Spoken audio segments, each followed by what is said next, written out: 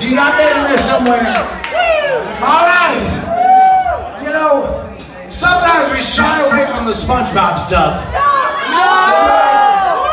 Wait a minute. We're an R&B band. We don't need that SpongeBob shit.